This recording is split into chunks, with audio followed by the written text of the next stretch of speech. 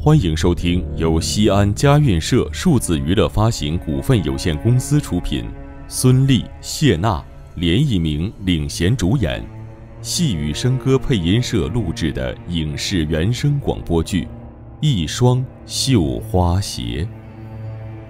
旁白编写：子旭撒尘，旁白录制：战斧式送塔，后期制作：飞飞猫。第四集。停尸间内，女尸被盗。上。上集说到，林文在林公馆内独自徘徊的时候，惨遭杀害。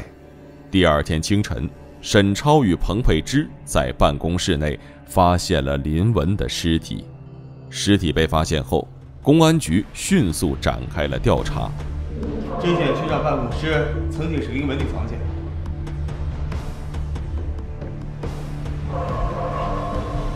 这里曾经是林家的女佣人慧妈的房间。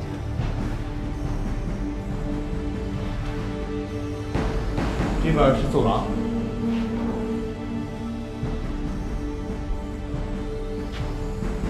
这三间屋子和大厅都是相通的。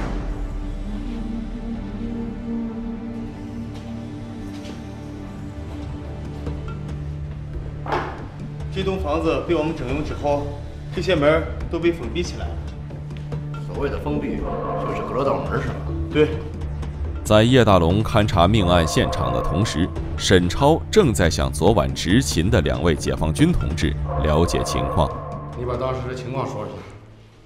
我远远的看见那小姐和那男的吵架，那人走了之后，他就走过来哀求，想进去看他自己的家。我想她一个女的，挺可怜。就联络了值班室的内勤。我寻思着哨兵都放行了，又是这家的主人，就同意他进来了。现场勘查完毕，验尸官对叶大龙汇报了自己所了解的情况。你是说，林文没有任何挣扎就被对方扭断了脖子？对，是没有搏斗的痕迹。这显然是经过严格训练的特工人员的手法。一九四三年，美国中央情报局特务黑利姆戴维在重庆郭罗山办个三期这样的学习班。专门教习这种一招毙命的杀人手法。别说死者是个弱女子，就是身强力壮的男人，在没有任何防备的情况下，也根本没有反抗的余地。还有，从死者瞳孔紧缩的程度看，死者高度的经济状态已经持续一段时间。这说明什么？死者很可能是受到一番的逼问之后才被杀死的。就是说，凶手想从死者的口中逼问出什么？应该是这样。科长。我现在就去通知林莹吗？她身边就这么一个亲人了，我真担心她受不了。小胖，你把沈超当时发现尸体的情况再跟我说一遍。你什么意思？走。局长办公室内，两位解放军同志此时已经将他们知道的所有情况都告诉了沈超。后来我明明看他下了楼梯，我还叫了他一声，他走得很快，根本就不理我。我当时想，资产阶级小姐一点礼貌都不懂。追到楼下的时候，已经没了他人影。你所看到的那个人影，究竟是个男的还是女的？当时走廊里只有一盏灯，不过我敢肯定，那个人穿的是林小姐的旗袍，还有高跟鞋。谢检讨。听我处理，沈局长，我我我好像也看到一个黑影在外墙边一闪，我还以为是自己看花眼了。就那就一块儿写检讨，听我处理。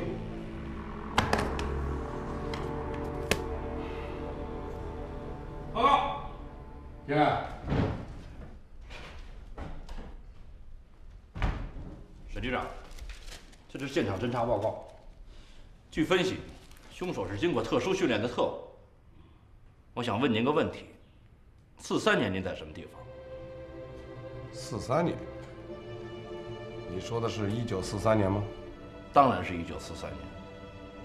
我当然在重庆。叶大龙同志，你想向我咨询什么问题吗？您是怎么发现林文尸体的？干嘛？你要审问我？案情调查，我要知道当时的情况。彭佩芝说你是第一个发现尸体的人，您是怎么判断出门后面有尸体的？直觉。一个在血腥环境下摸爬滚打多年的老家伙的直觉。我当时一进这个房间就发现这个屋子有点异样。今后有一天你也会有这种敏感。一个侦查员的直觉可能没什么道理，但是非常重要。我的直觉是林文死因可疑，在特殊的时间和地点发生这种恶性案件，绝不能掉以轻心。你那是分析，不是直觉。站住！昨天晚上你在什么地方？哼，我有必要向你汇报吗？你必须回答我。哼哼，沈局长，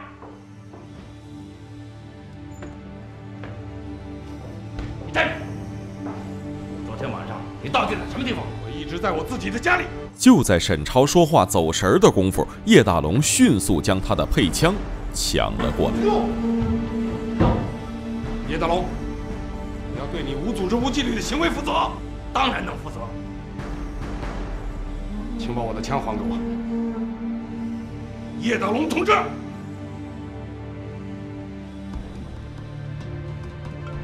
好了，你们大家都撤开，没什么大不了的。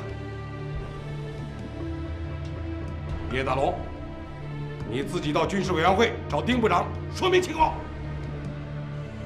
现在我宣布。林文被杀一案，立案侦查。彭美珍，到。通知死者家属，尽量委婉一点，最好能陪在他身边。是。周华，到。带上你截获的电台资料，跟我去局里开会。是。好了，大家都去工作。走啊！是。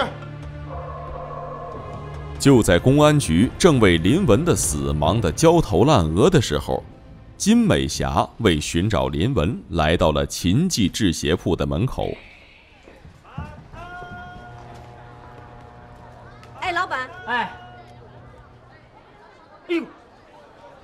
而秦老板在看到金美霞后，却误认为是之前戴着口罩来他这里藏东西的国民党俘虏。进来说，进来说。鬼鬼祟祟的干嘛？真没有想到，你竟然是位女士哦！东西都在，你今天就取走吗？取什么呀？取？哎，你不是？是什么呀？是？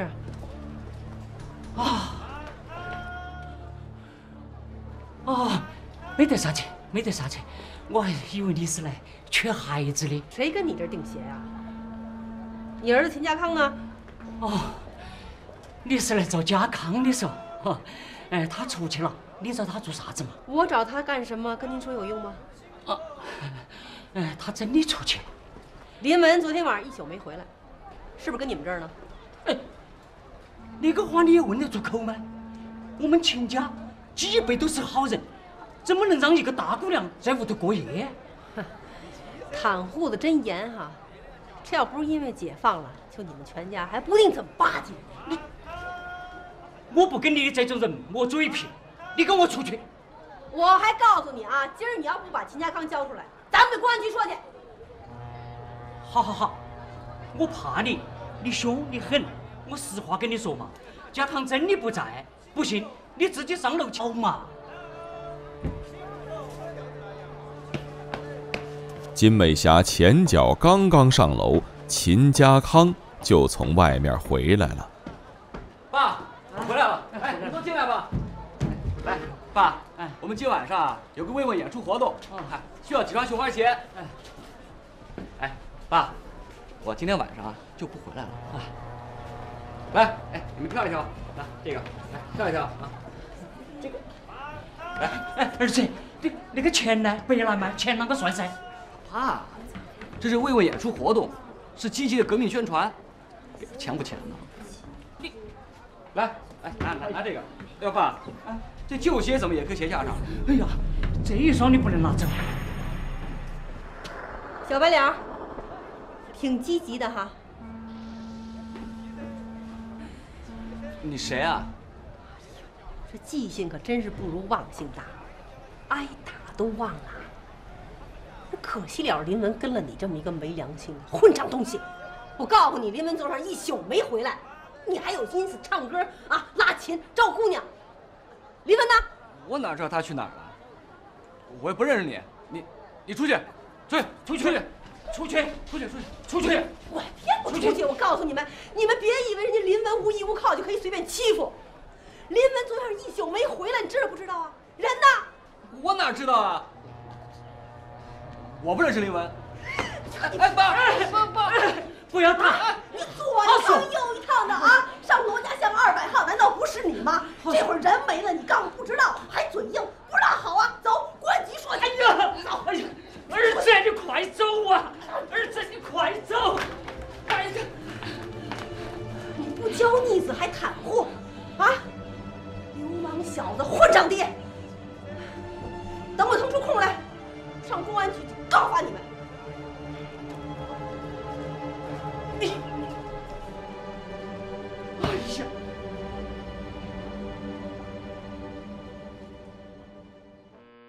重庆巴东区公安分局丁部长的办公室，叶大龙正在跟丁部长汇报沈超的异样。他胡扯！昨天晚上他明明和林宁在一起，他为什么说自己在家？林文死在他办公室隔壁的房间，本身就很奇怪。在没有任何迹象情况下，他能发现尸体，还云山雾罩的说什么敏感直觉，这不扯淡吗？丁部长，您是军政委员会分管我们的领导，这些情况我必须向您汇报。我觉得沈超，进来。丁部长，请你在抓捕人员名单上签个字。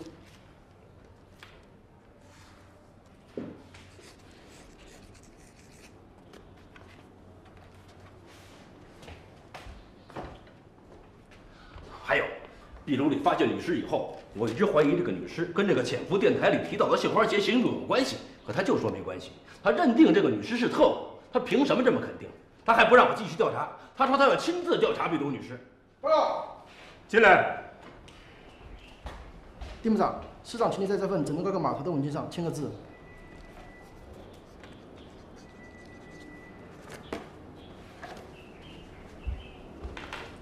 还有更奇怪的是，西南公安部送发的敌情通报上，我亲眼看见他划掉了原国民党国防部二厅中将专员林南轩的名字。我问他为什么把这人名字划掉，他说这人死了，不在侦查之列。可据我的了解，林，进来。丁部长，这是全市查封妓院收容所有卖淫妇女的通知。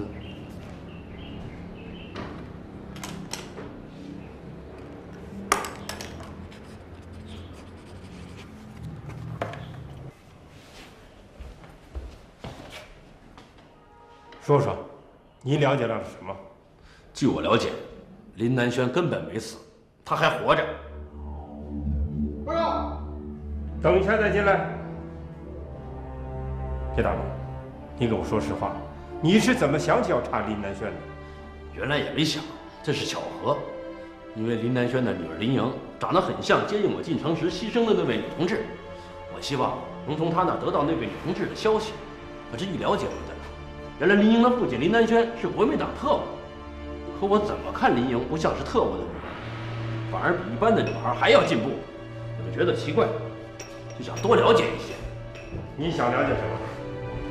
想了解林莹，还是林莹的父亲？当然是他父亲。你可别误会我，丁部长。现在最重要的不是林南轩，而是沈超。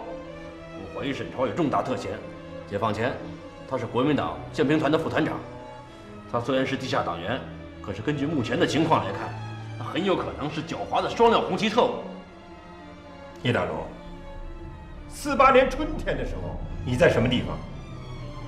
四八年春天，你在张家口，你在中央局社会部为培养公安干部举办的培训班里学习，是不是？对，我是在那儿。保密纪律你是怎么学的？知道不知道组织原则？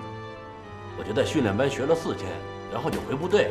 叶大龙同志，你现在是公安战士，周恩来同志一再强调。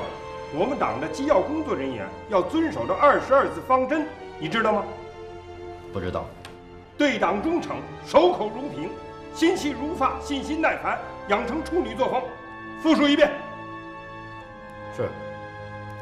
对党忠诚，守口如瓶，心细如发，信心耐烦，养成处女作风。回去以后，你主动关自己一个星期的紧闭，写出深刻检讨，听候处理。